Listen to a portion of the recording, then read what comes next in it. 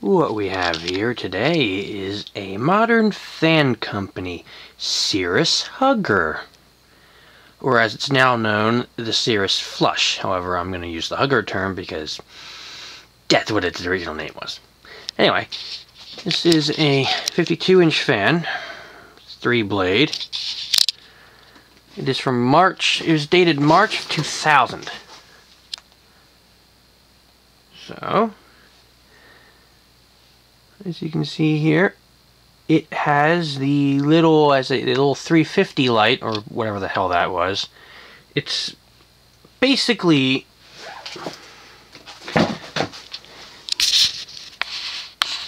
yeah, it's a very small. It's a par 16 light, little spotlight, little halogen spotlight that comes out of the bottom.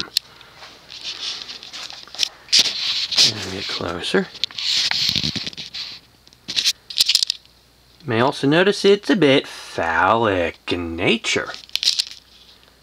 And the light kit could represent an orifice, but yeah, I'm not going to go too far into that.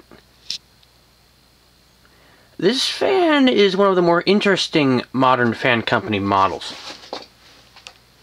Interesting in the sense that this is one of maybe four or five modern fan company models that uses a stack motor.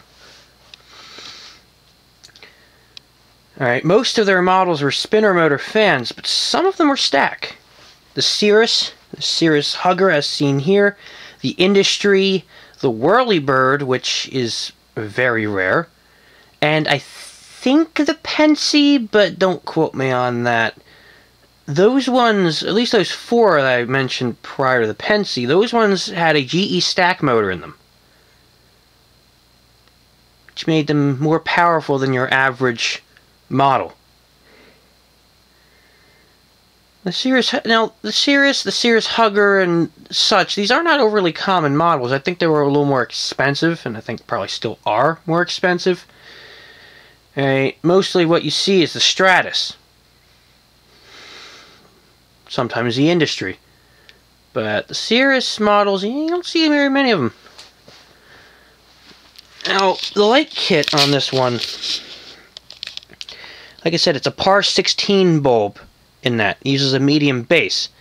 At some point, the Department of Energy banned the use of par 16 bulbs, or at least a medium base for such lamps, and made them GU10. This switch happened in 2011, and the light kit was discontinued in 2017. It is an integrated light kit. The reverse switch for the fan is actually underneath the entire light housing. It's actually inside on the bit that the light actually bolts onto. So you have to take the entire nose off the fan in order to reverse it, which is kind of dumb. However, now, now the Cirrus is DC, and I think it still uses a stack motor. I haven't seen one yet. I'm not really sure what it uses, but yeah currently DC, and I can only imagine that it's reversible now from the control. Now as seen here, I'm using FanSync. Fanimation FanSync. Bluetooth connectivity, the receiver is inside the upper part of the housing. So now let's see how it performs.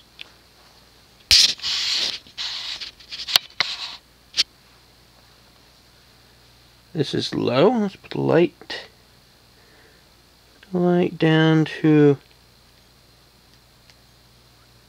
about 43%.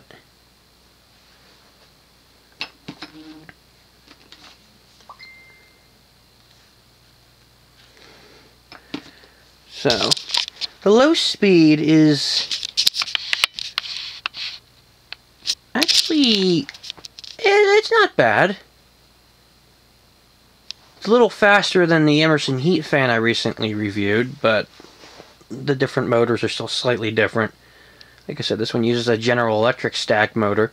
They say, oh, it's it's it's Chinese. Oh, it's imported. It's still GE product. You know, because Emerson's K55s aren't made in America anymore either, and yet we still call them K55s. We don't call them import K55s. No. Still a good old GE stack. However, it seems as though these have pretty much bit the dust because, again, now everything is DC. The GE stack motor was also used in the Quorum Dragonfly in both 60 and 72 inch flavors, as well as a couple other oddball fans, but um, yeah. The flywheel is the entire bit that the blade's attached to, it's all metal. Connected directly to, directly to the shaft.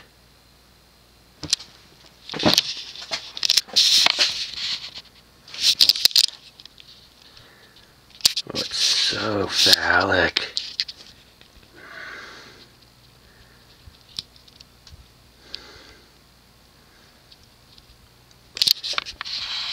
Yeah, the Cirrus Hugger is less common than the Cirrus. There was a good while when Skechers stores everywhere had brushed aluminum Cirrus models. You know, the standard model in all their stores. Then they all disappeared when they remodeled. Kind of stupid.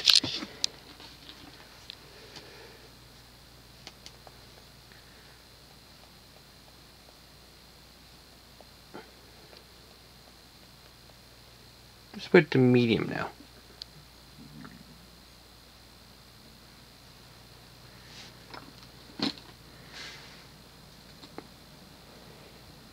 Turn the light off. Back to full blast.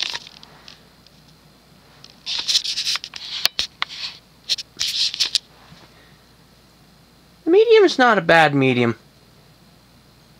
It, it's pretty average as far as mediums go.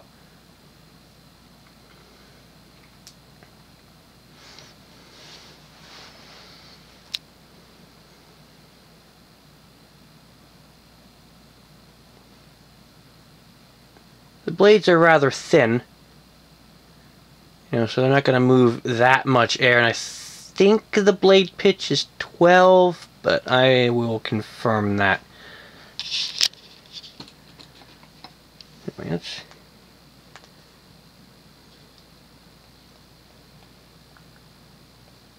high speed now.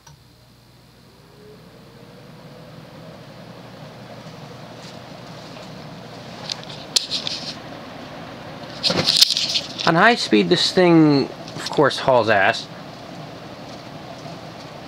And because the blades are thinner and because there are only three blades, there's less drag, which means a higher RPM. So the higher RPM kind of makes up for the pitch or just the general puniness of the blades.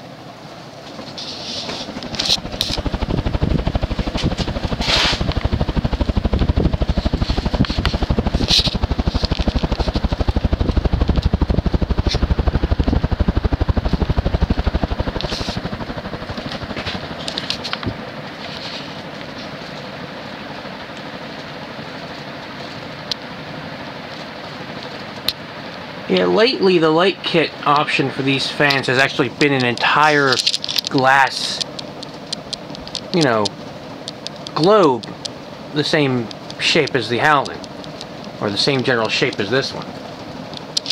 Which is a little brighter, because this PAR 16 really only provides a straight down light.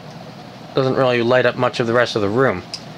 I mean, this light's good if the fan's on, say, a higher ceiling, maybe 9 feet.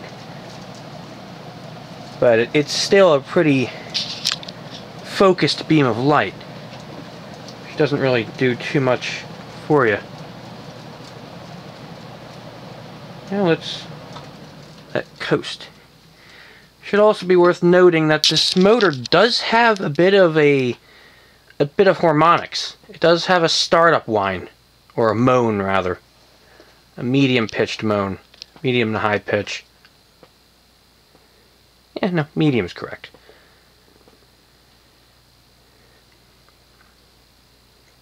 This is also one of the few huggers to have a stack motor. Very, very few of these were stack. So this is a bit of an oddity in that sense as well. And there you have it a Modern Fan Company Cirrus Hugger. Cirrus Hugger.